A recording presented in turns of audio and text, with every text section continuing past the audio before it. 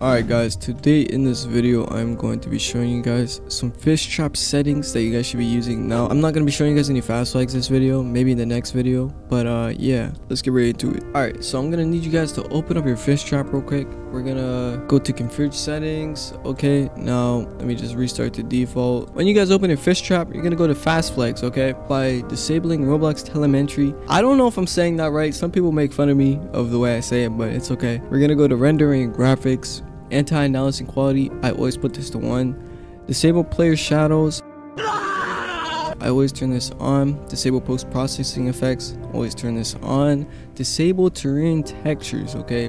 Turn this on. This basically like, you see the grass? The grass won't have any good texture and it won't really render in that well.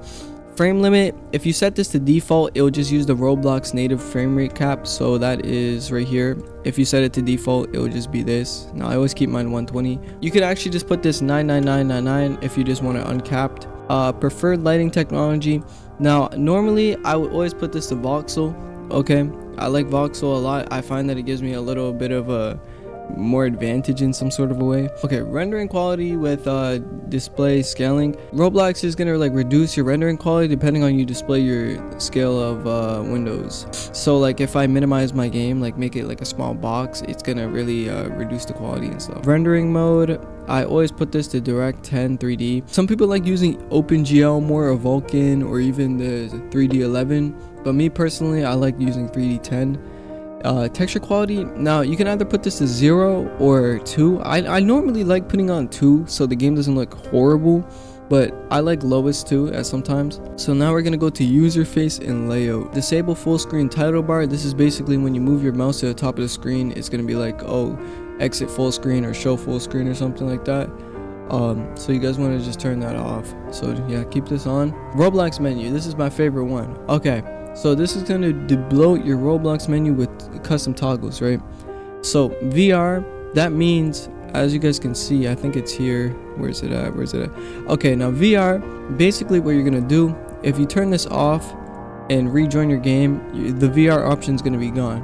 So this is basically just taking all the unnecessary things off this side.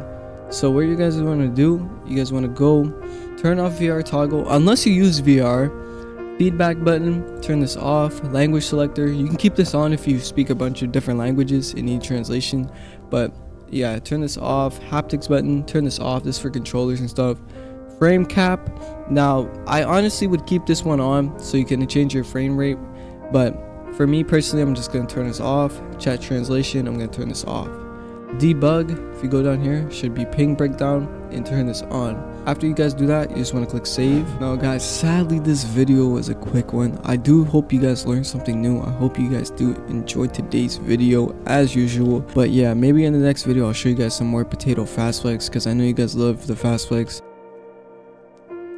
but uh yeah i hope everyone has a good day. Hope you guys enjoyed today's video